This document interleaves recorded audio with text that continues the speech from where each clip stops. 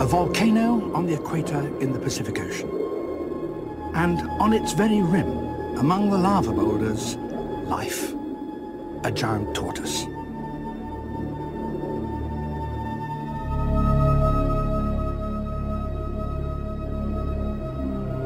Inside another, in its very throat, an iguana climbs down the walls to lay its eggs on the floor of the crater.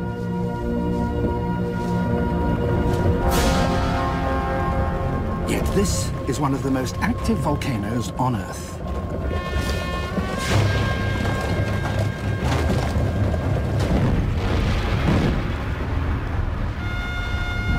Closer to the coast, molten lava spouts from yet another vent.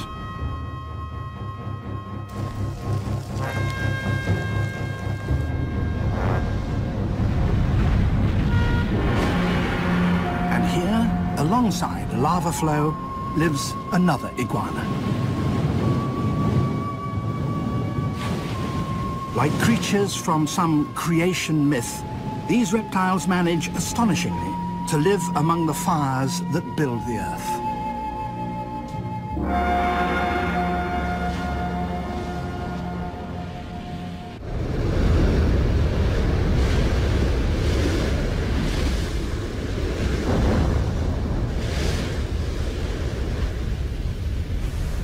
The Galapagos Islands are home to the only seagoing lizard in the world, the marine iguana. In spite of the crashing surf, the iguanas manage to graze on lush growths of marine algae that flourish around the coasts. After an hour or so in the sea, these lizards have to come to land to warm up again in the sun.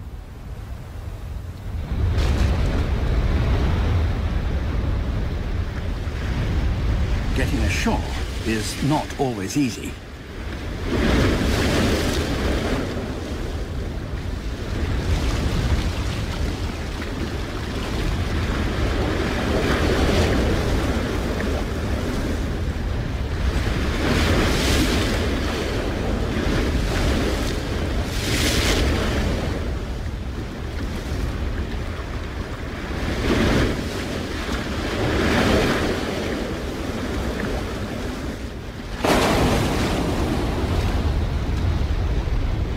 This is the coast of Fernandina, the most westerly and the newest of the Galapagos Islands, and home to the biggest concentration of marine iguanas.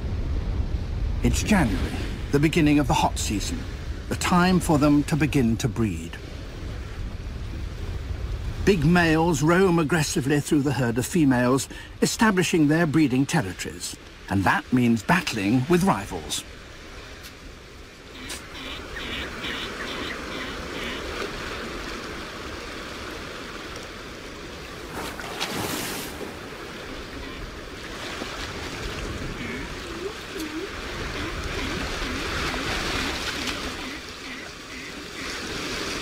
Shaking the head is a challenge, and one that has to be met.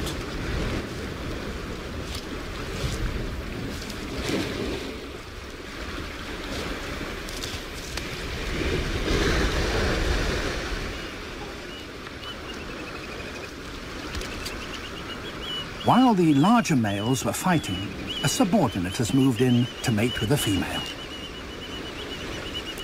The big male regularly surveys his territory and he's spotted the trespasser.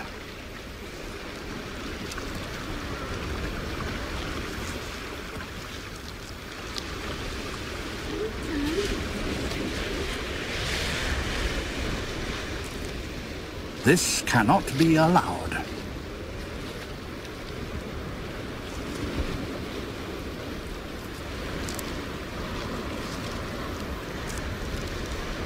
He drags the female away and carries her off to the center of his domain.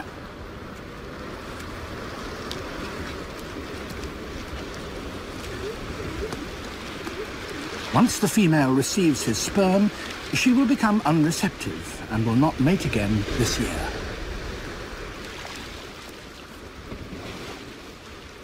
The intruder will have to try again elsewhere. The iguanas congregate in herds around the coastal areas where there's easy access to the sea. and the riches it contains.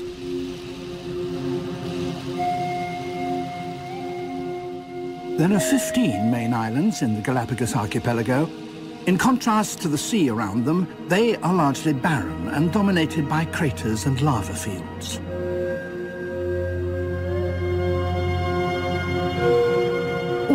Over the last five million years have been built by volcanoes erupting from cracks in the Earth's crust, deep below on the floor of the ocean, a process that still continues today.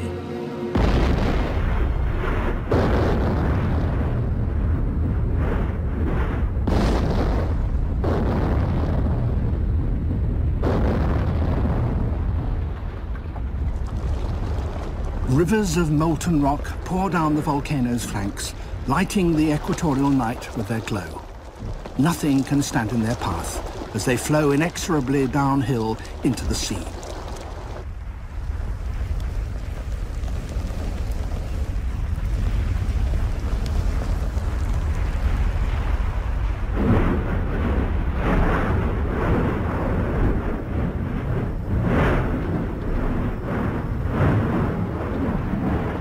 When dawn comes, it reveals that the lava has run right through a grove of Palo Santo trees, the home of a pair of Galapagos hawks and a large colony of land iguanas.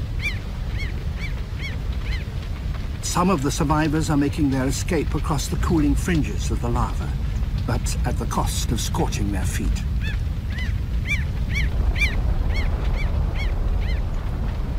Others were not so lucky.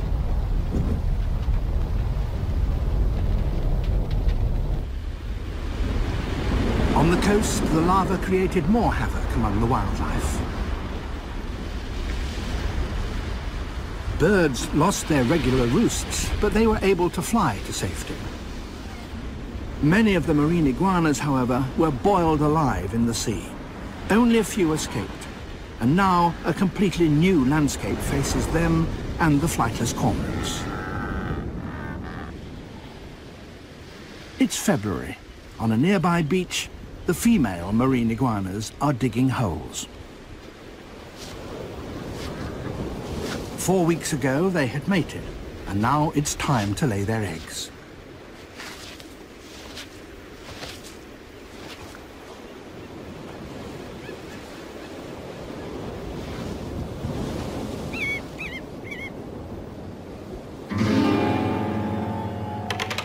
Hawks have appeared in the mangroves beside the beach.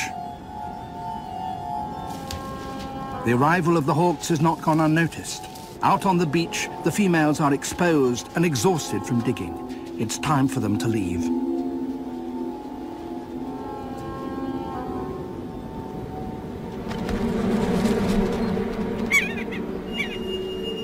As the hawks take off, the female iguanas run for a place where they'll be safe, the sea.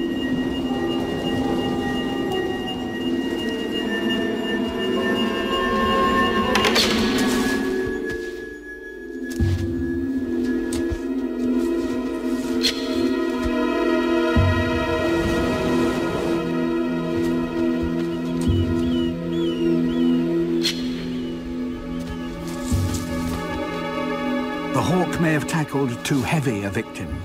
The outcome is by no means a foregone conclusion.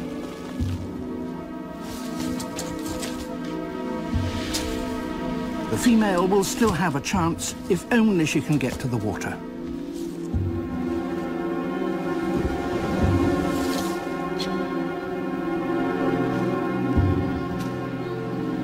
And finally, the hawk gives up, but the iguana is dead.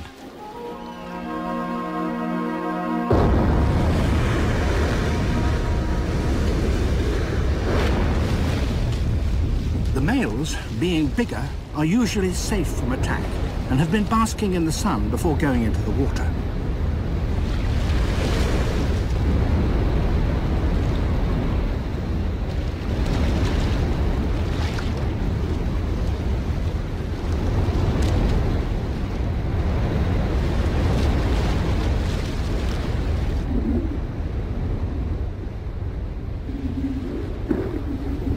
They have particularly long claws that enable them to cling to the rocks and resist the pull of the swell, as they rip off the algae.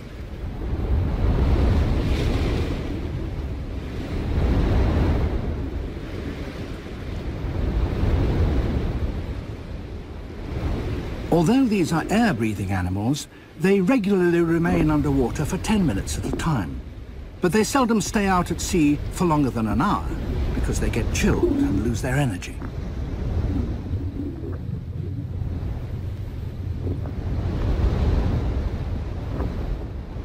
Little wrasse swim alongside them, gathering the small creatures disturbed as the algae is pulled up.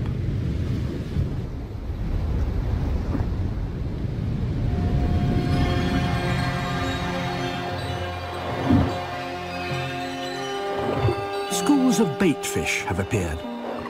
They are pursued by sea lions, descendants from immigrants that came down from California in the distant past. Sea lions, like iguanas, are air breathers. But being mammals, they generate their own body heat, and so they're able to spend long hours in the water.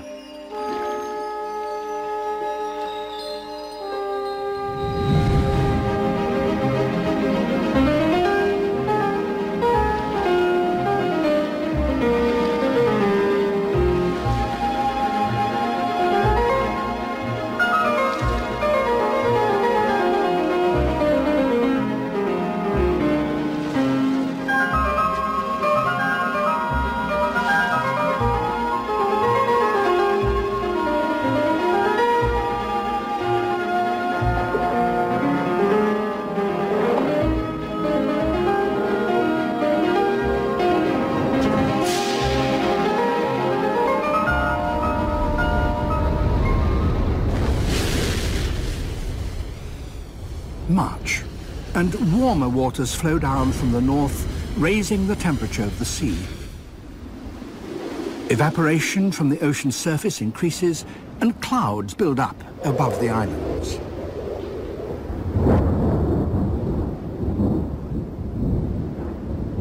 Soon, there will be rain.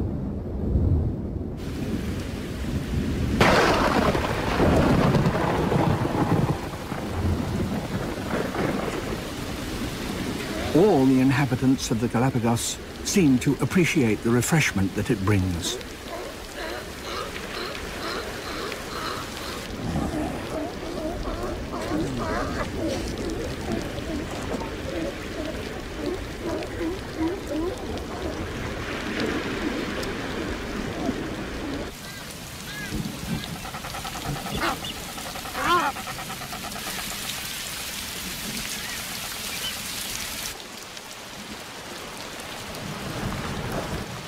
The land iguanas, inland from the coast, it brings the rare chance of a drink.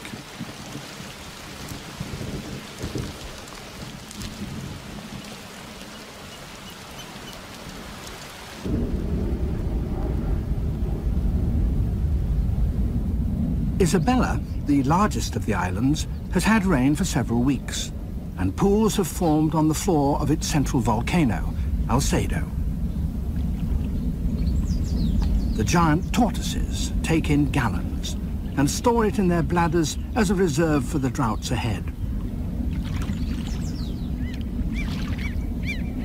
The hawks are beginning their courtship flights.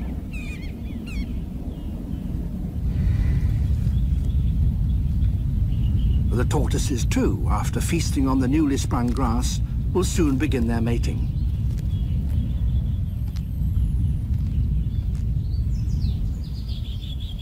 The males are all somewhat bigger than their mates, but this one has picked a particularly diminutive partner.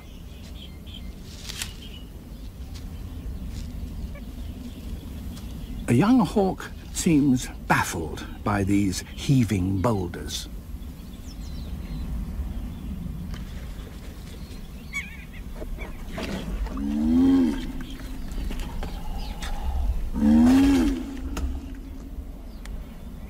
It's a tricky and apparently exhausting business, and the groans of the males carry for miles, echoing around the crater.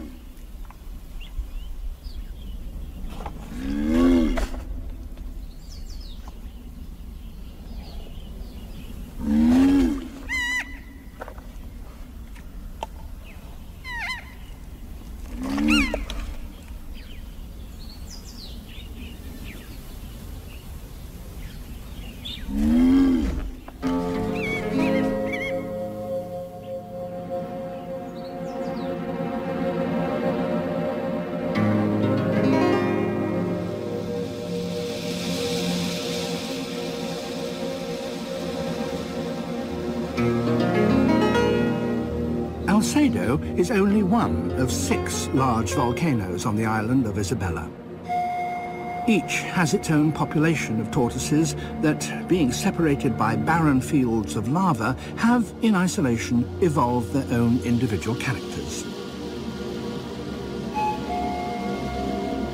Fernandina, west of Isabela, once had tortoises too, but none survive there today. It is, however, a stronghold of the marine iguanas, and the eggs they laid on the beach, warmed by the sun, are now hatching.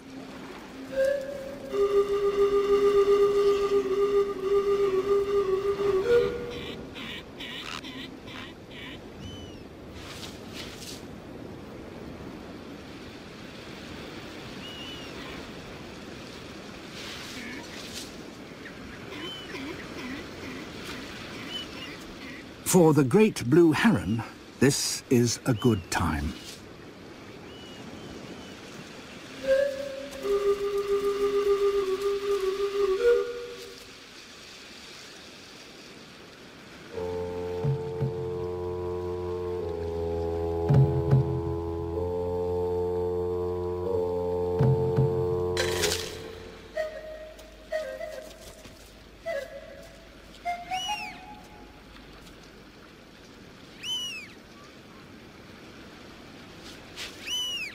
Hatchlings, there is a hundred meters of open sand to cross before they reach the safety of the water. Herons are not the only enemy they have to face. Galapagos snakes don't kill their victims with venom, they squeeze them to death.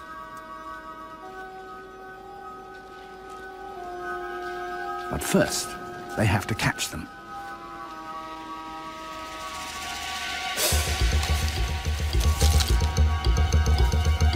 In order to reach the sea, some young iguanas must first cross an old lava flow.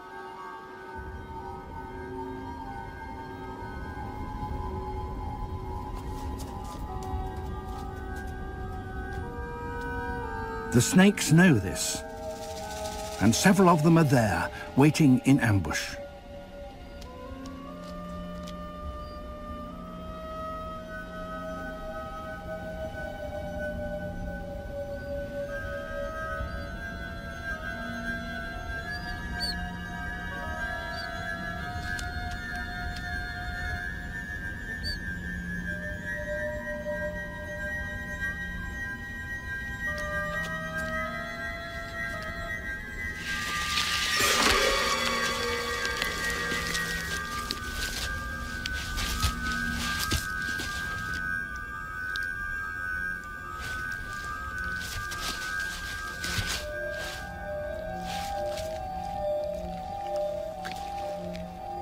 The snake can unhinge its lower jaw and engulf prey that is stouter than itself.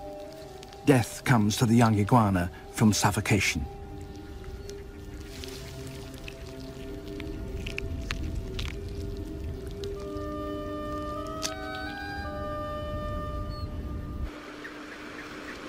Some iguanas find safety in deep cracks that have formed in the lava.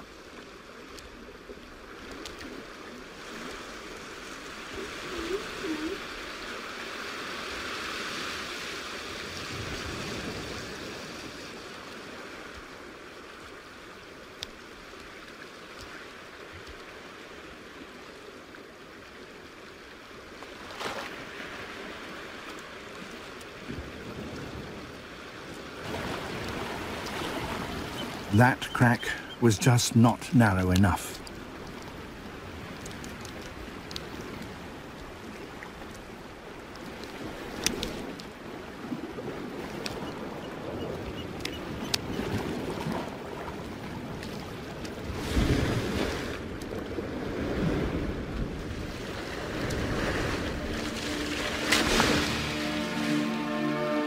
The ancestral iguanas are thought to have arrived in the Galapagos as involuntary passengers from South America on floating vegetation several million years ago.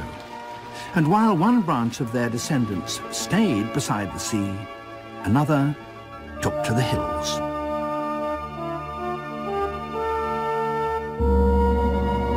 In patches of vegetation on the lower slopes of Fernandina, the land iguanas are now gathering to breed.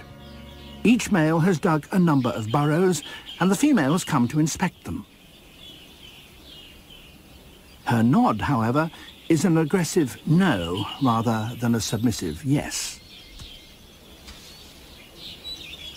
But he persists.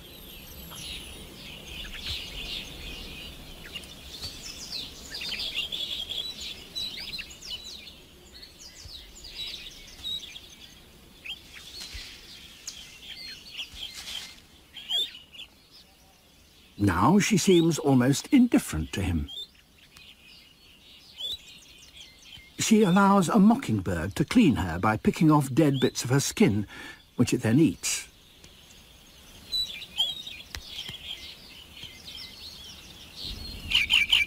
She makes a meal from one of the plants growing on the male's land.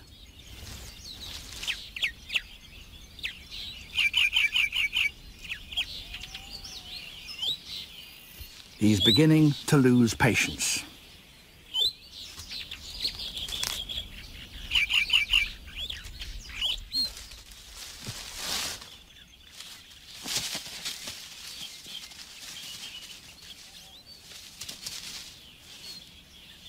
This is not the place to mate. It's better to take her to the centre of his territory, where he is least likely to be interrupted.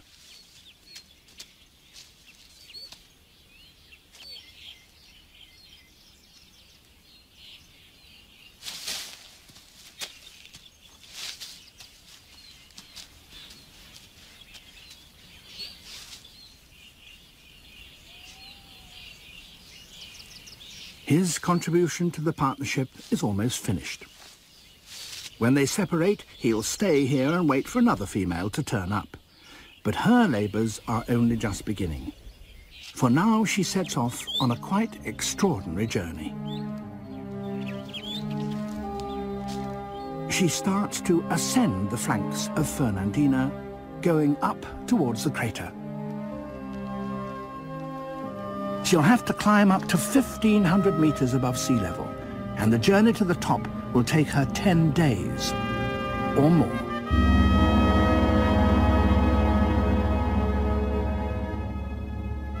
Close to the rim of the crater, steam spouts from fumaroles, and this keeps the ash warm and moist, the perfect place for a reptile to leave her eggs.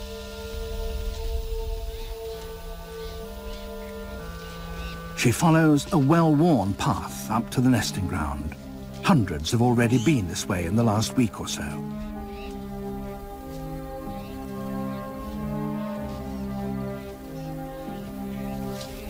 Suitable ground is limited, and much of it already occupied.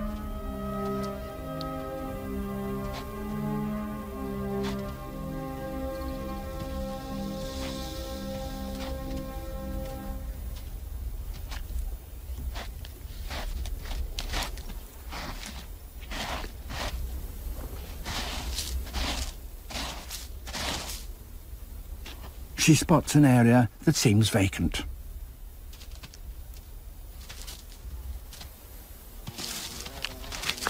But it's not.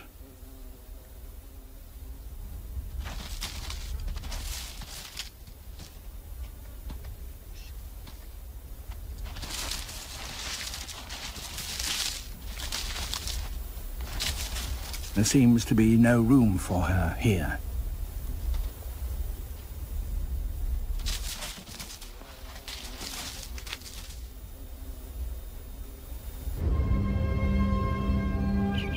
Sun is beginning to set.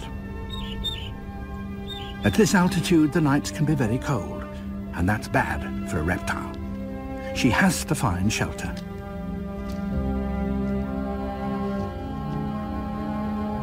A small cave, just the place.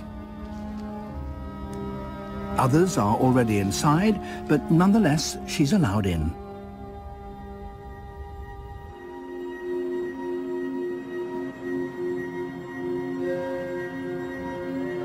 The temperature begins to fall dangerously. But steam, percolating from below, keeps the dormitory snugly warm.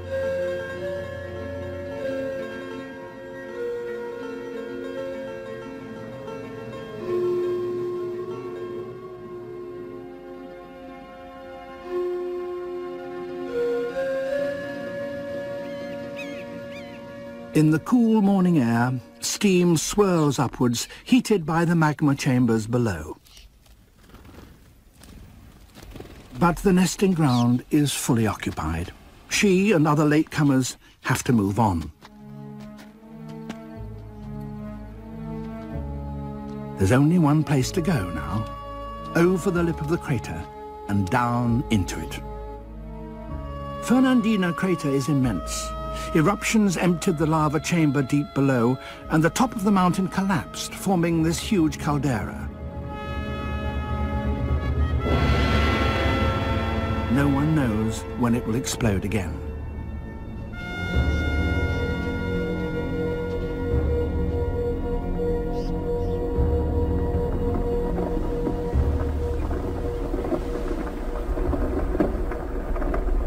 The walls of the crater have not yet stabilized after the last eruption and are continually collapsing.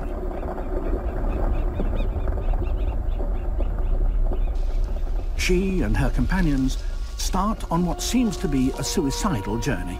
They descend into the crater.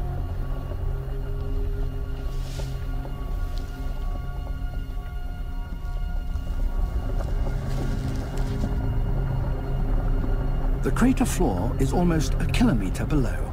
The walls are steep and dangerously unstable.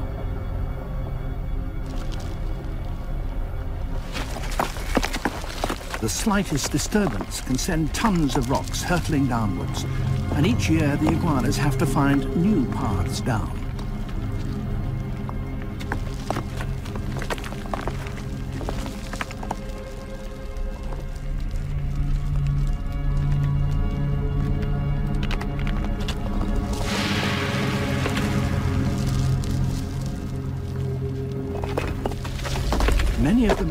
Are killed each year, but still they come.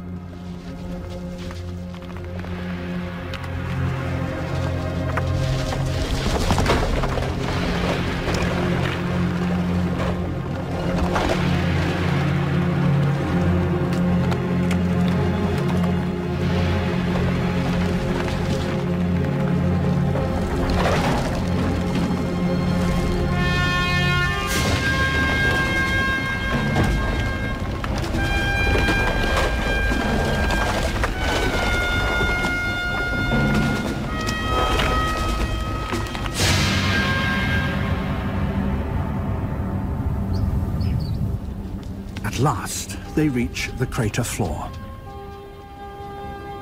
Ash lies thickly here. In some areas, steam from below keeps it warm, and there, just below the surface, it's a constant 30 degrees centigrade, the perfect temperature to incubate iguana eggs.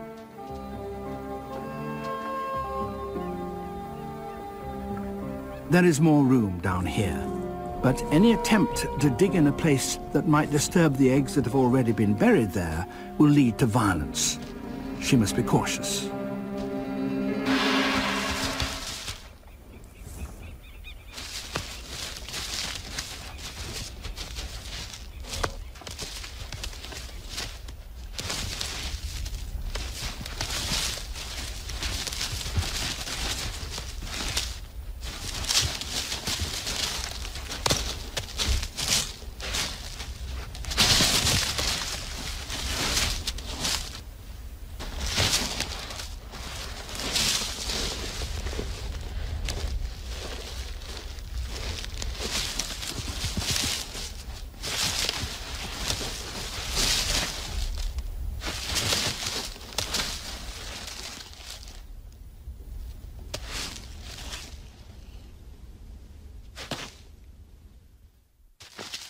Place of her own at last. Even after all this, there is no certainty of success. Some years an eruption will destroy all the eggs. Nor are the females' labours yet over. They still have to climb out of the crater and trek 10 kilometres down the volcano back to their home grounds.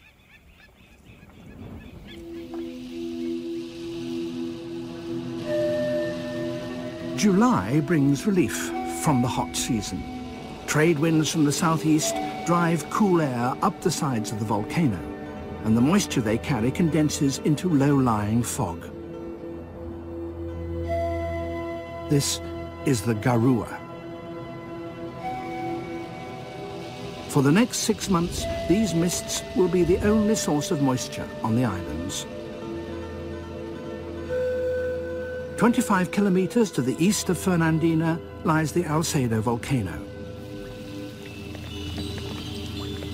There, the arrival of the Garua is a signal for the tortoises in the crater to climb up to the rim and collect the liquid the mists bring.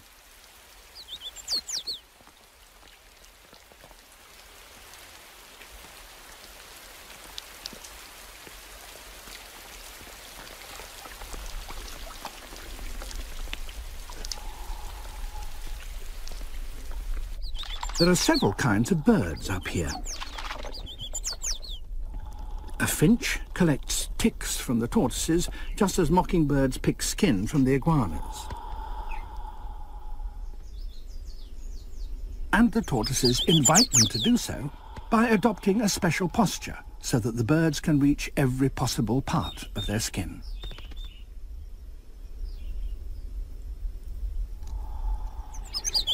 Tortoises, after all, can't scratch themselves. Neither can they clean their nostrils, so this arrangement suits both parties.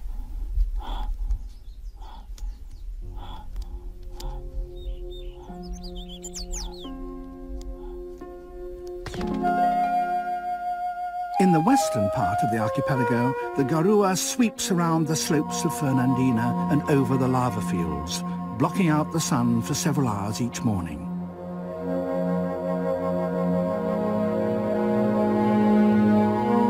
As the mists burn off, the marine iguanas begin their daily trip down the beach to the sea.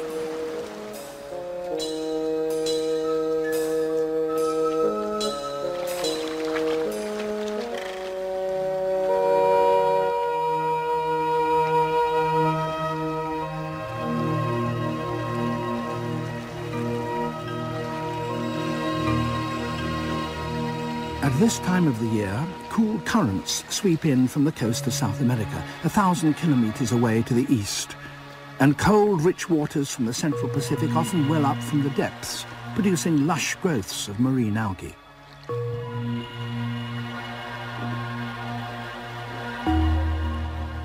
The algae grow with phenomenal speed, and they need to, for along this stretch of coast live tens of thousands of marine iguanas.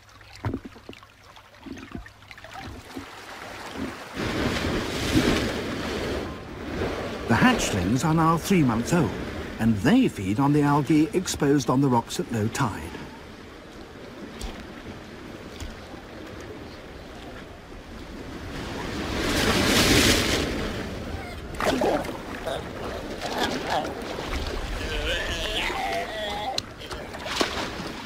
Sea lion pups of around the same age don't go out to sea either.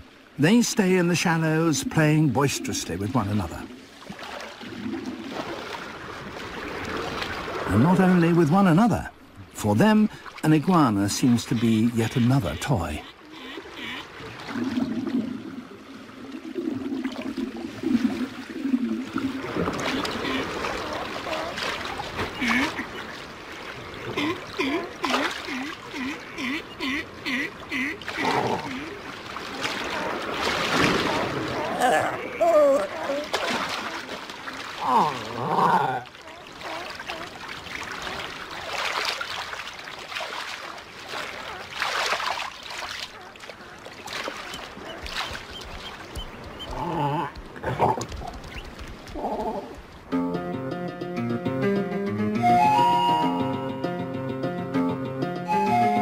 Early afternoon, most of the iguanas have finished grazing and are sunbathing to get the heat they need to be able to digest their meals.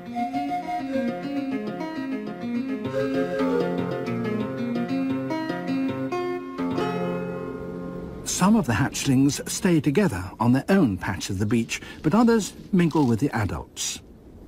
And that is the safer place to be. The hawk won't tackle a full-grown male iguana. It's too big and powerful. A young hatchling, however, is a different matter.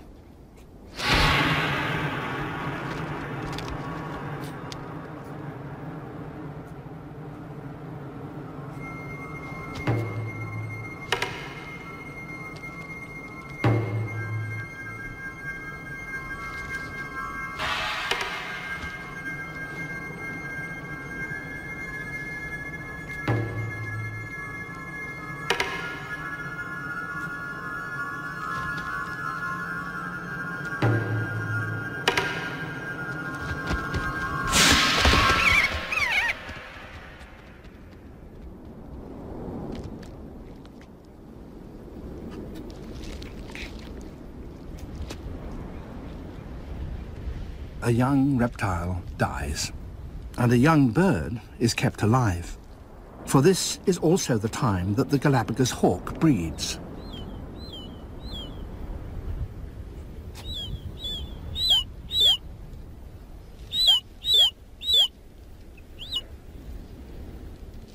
There are two chicks in the nest. The bigger one is always fed first. Only when it is satisfied will the smaller one get any food. But this year has been a good one for the iguanas, so there's plenty of food for both chicks.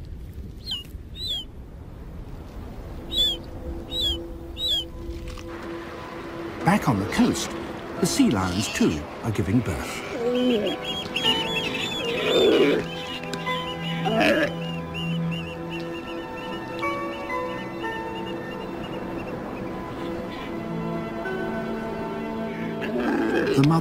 Tears away the birth membranes so that her baby can get its first breath of air.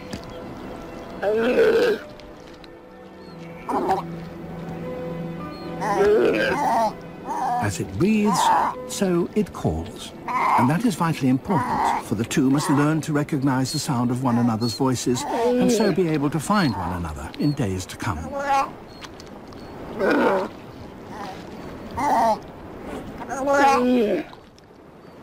The sea lion's afterbirth is high-grade protein, and both crabs and iguanas are quick to claim it.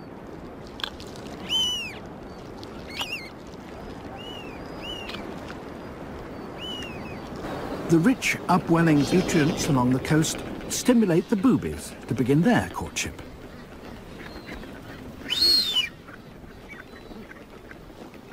A blue-footed booby needs to show it. As the iguanas settle down to sleep, they continually spurt liquid from their noses. This is a salty fluid that drains into their nostrils from special glands that excrete the salt they take in with their meals of seaweed. The sun begins to sink. The day cools and the iguanas cluster together to keep warm. During the night, the Garua rolls in across the summit of Fernandina.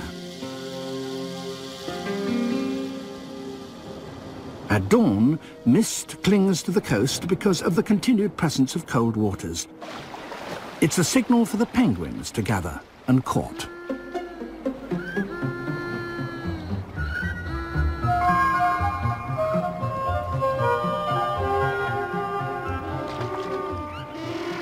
Like the bluefoots, penguins only breed when food is plentiful.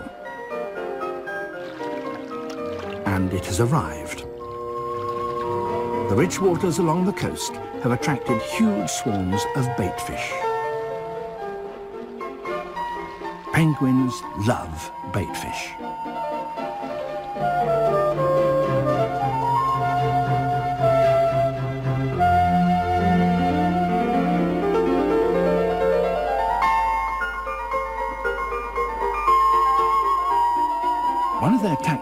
Is to drive a shoal into shallow water where there's less room for the fish to maneuver.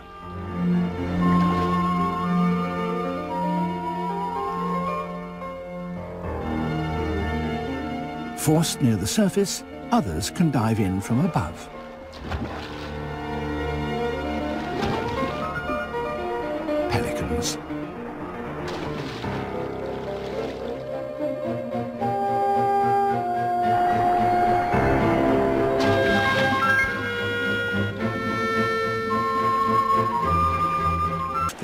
And swallow their catch without being pestered by penguins.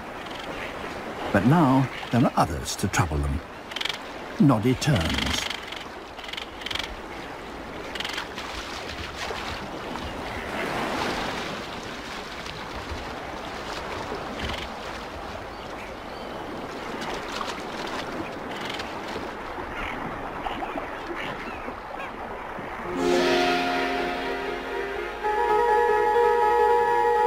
The bluefoots can fish much farther out to sea.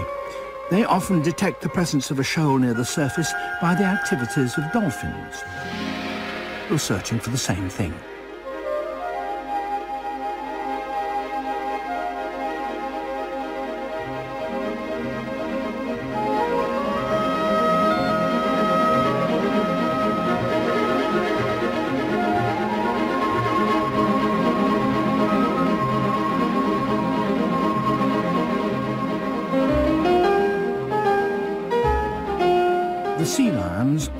Follow dolphins.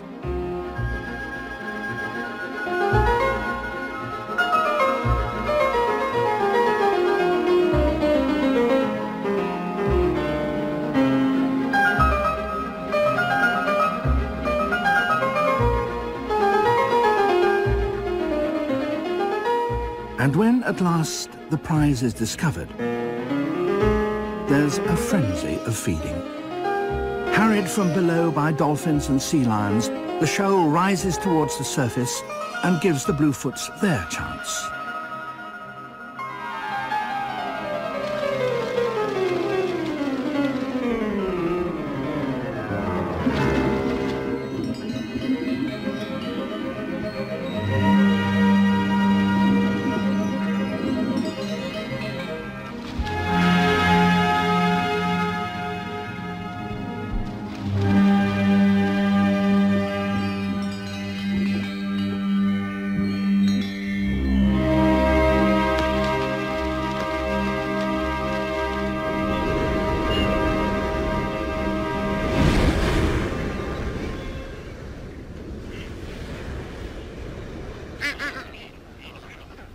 Back on the cliffs, the young bluefoots are exercising the wings they've not yet used and playing with the marine iguanas.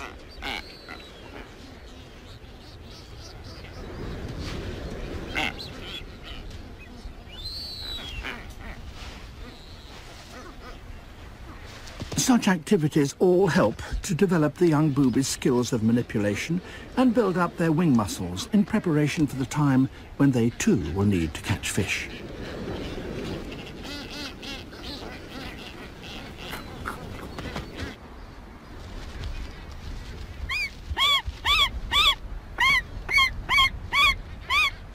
Hawk chicks, well nourished on their diet of young iguanas, are now two months old and almost ready to fly, eager doubtless to go and find food for themselves.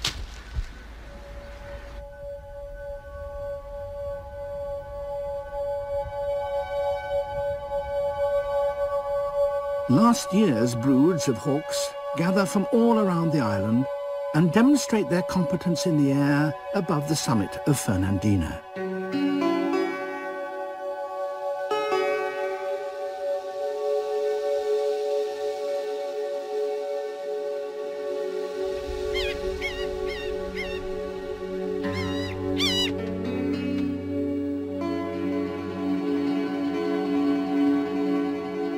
They're keeping a sharp eye on the floor of the crater below, for their biggest feast of the year is about to begin.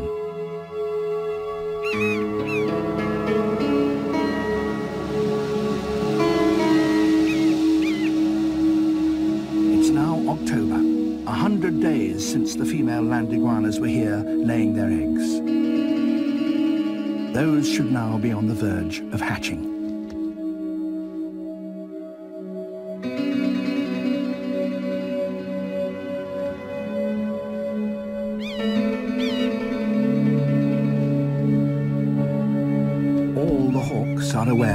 What is about to happen, and all are determined to claim their share.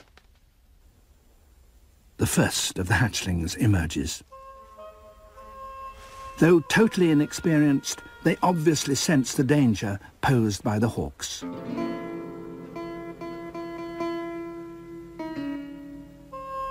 The eggs in each clutch hatch almost simultaneously, and the youngsters will stand a better chance if they all run for cover together.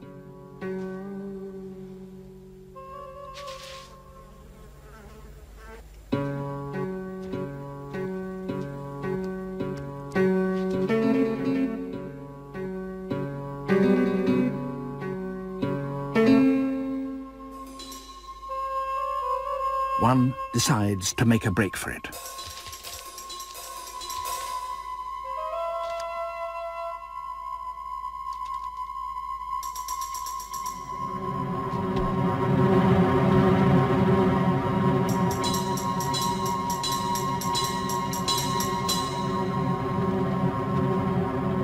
The others see that the attention of the hawks has been diverted.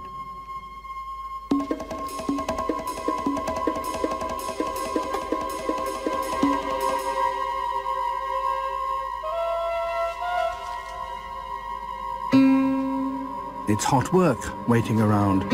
The ash is now 50 degrees centigrade.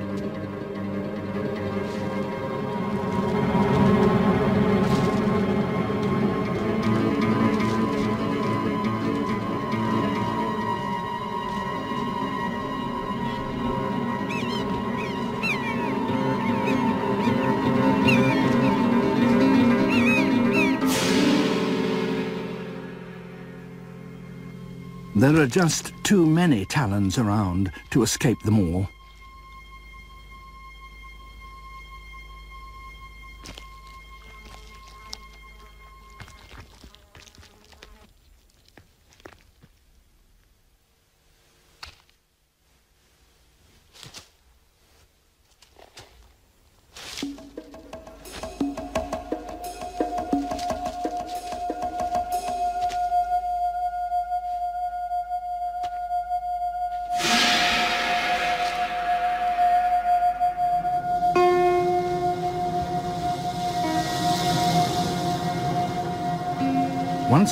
The crater wall, there is more cover, but the Hawks can still outwit them.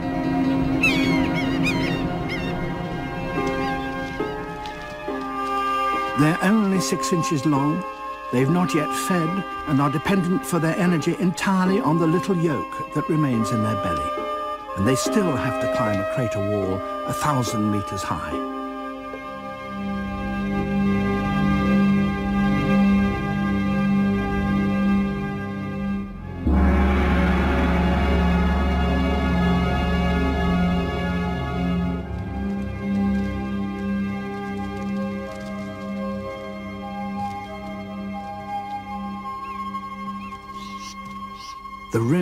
Crater at last. But this is only a brief triumph. Neither the journey nor its dangers are over yet. A short distance below is the steaming fumarole and nesting area, which their mothers passed three months earlier on their way into the caldera.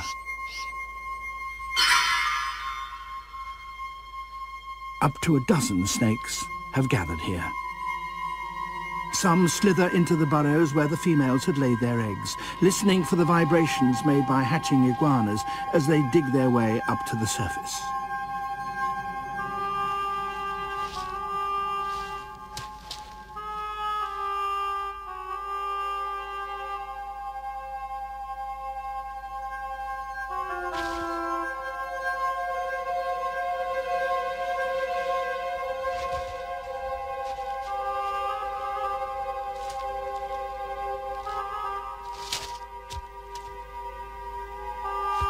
The hatchlings can outrun the snakes if they get a reasonable start.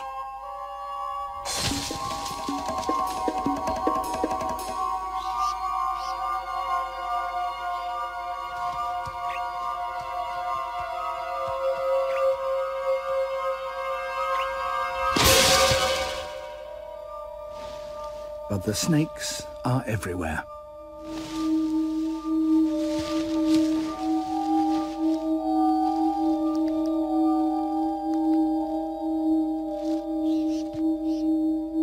Those few that make their escape climb up a plant or a boulder every now and then to get a better view of the way ahead. There is a long way to go yet. Their final destination is the vegetated slopes of the volcano 1,300 meters below. Down on the coast, their cousins, the young marine iguanas, are now six months old and increasingly confident as they graze among the waves.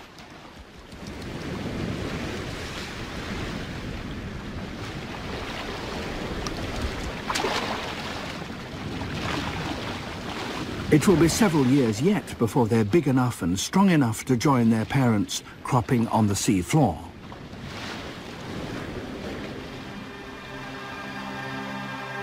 The reptiles of the Galapagos live in an isolated world.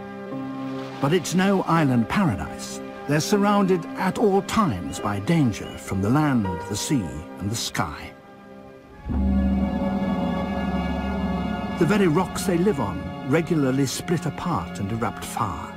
But it's these very perils and privations that have changed and refined these species to such a degree that today there are no other creatures anywhere else in the world, like the dragons of the Galapagos.